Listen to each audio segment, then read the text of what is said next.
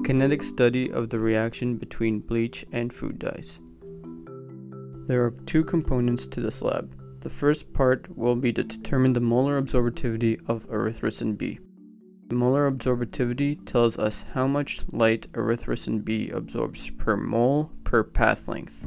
Be aware that the molar absorptivity can change depending on the wavelength of light you shine through it. The second part of the lab is to use the molar absorptivity of erythrosin B to determine the rate of reaction between erythrosin B and bleach. We will begin with part A. This is the apparatus you'll be using in this experiment. Each pair of students should have one rack of cuvettes. The pipettes and volumetric flasks should be found on the side bench. You will be mainly using erythrosin B and bleach in this experiment. Both these chemicals can be found in the TA fume hood. These will be the spectrometers that you'll be using in this lab. Turn on your spectrometer at the beginning of the lab to warm it up. Remember to remove your gloves when using the spectrometer. Make sure that the wavelength is set to 530 nanometers and make sure that the transmittance is set to 0. Obtain between 150 and 200 milliliters of the erythrosin B dye from the TA fume hood. For flask A, pipette 75 milliliters of the erythrosin B stock solution into a volumetric flask using a long stem funnel. Do this using the 25 milliliter pipetter to pipette the solution three times into the volumetric flask. Follow the link in the description below for a detailed explanation of pipetting. Once you transferred the erythrosin B into flask A, dilute the solution to the mark with distilled water. Make sure that once you are about to reach the mark that you start using a Pasteur pipette to ensure that you do not overflow your solution. If the solution goes above the mark, then you'll have to remake the solution again from scratch. Mix the solution by inverting the flask approximately 20 times. Make sure that you are careful and that you have a tight seal on the flask or else it will spill and you'll have to remake the solution again. Repeat this procedure for solutions B, C, and D. Now you have to prepare your blank. Fill a cuvette with distilled water and wipe it.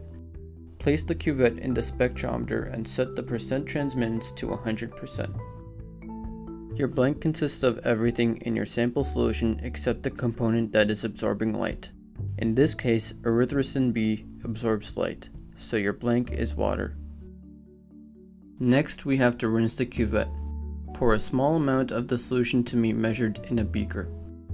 Rinse the cuvette 3 times with distilled water and 3 times with the solution you're about to measure.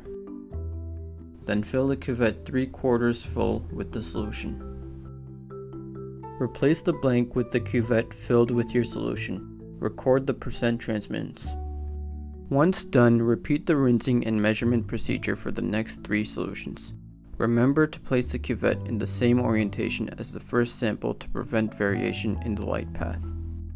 Next you should plot a graph of absorbance with respect to the concentration of dye to calculate the molar absorptivity of erythrosin B. The molar absorptivity will be the slope of the graph.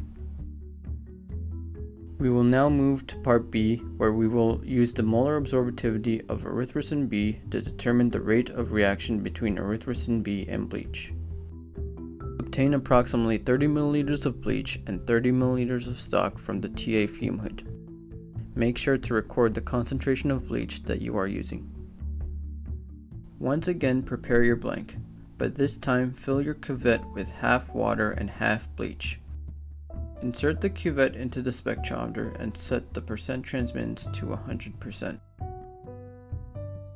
Obtain three more pipettes from your TA and label them as bleach, water, and dye. Now is time to prepare your reaction. For trial 1, add 2 ml of your dye solution and 3 ml of distilled water to a clean cuvette. When ready to commence your trial, add 1 ml of bleach to the cuvette. Your partner should start timing at this stage with their phone.